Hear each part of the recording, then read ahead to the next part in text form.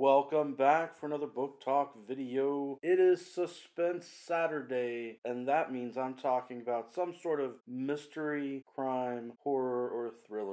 Today, it's the paperback book Murder by the Book by Lauren Elliott. This book came out in 2018. I gave it three out of five stars. I did enjoy reading the book. Three stars means that I recommend the book. You can tell by the cover that it's one of those cozy mystery stories set in a small town. It has a sleuth who is a private citizen, not a law enforcement officer or anything like that. She is a bookstore owner. And you might not realize this, but there's actually this whole subgenre of books, you know, with characters who are people who either own a bookstore or work in a bookstore, and oftentimes they get involved in some sort of a mystery. Now, I can think about the literary fiction novel with A.J. Fikry, and of course, the fun story of Good Omens. There are all kinds of stories with bookstore owners in them. They're fun to read.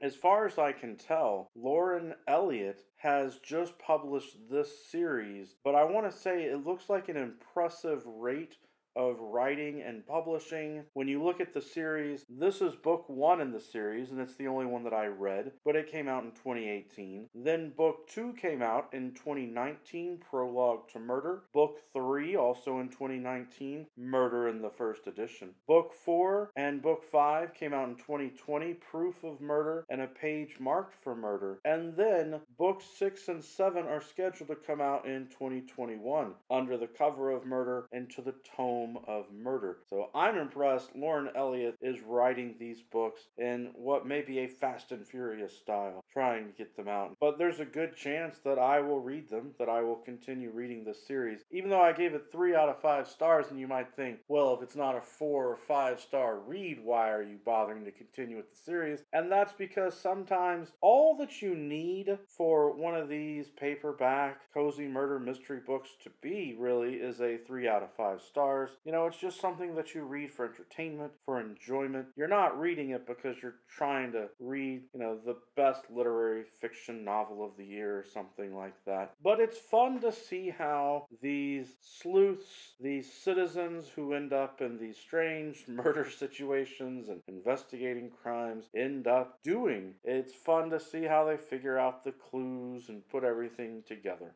As for this book, I know that I tend to complain that a lot of books start too slowly and they take, you know, 60, 80 to 100 pages to really get into the action because they're building up the setting and providing all that information, letting you get to know the characters slowly. But I'm going to feel a little hypocritical here because I'm going to say that this book starts out really fast. It almost felt rushed that the action was happening right there from the very beginning. Kind of wanted it to slow down a little. But I understand why that that was. It's as a murder mystery story, it's to kind of throw you off as a reader so that you're not sure who to trust and what's really going on. So I understand the technique and why it's done. In fact, probably when I go to publish my first book, the beginning will feel rushed because I'm going to want to get right into the action, similarly to how this story does it. The main character's name is Addie, and she has inherited everything that she needs so that she can have her dream of owning and running a bookstore, which includes a bunch of books that her family had that were first editions and rare copies of books, valuable books.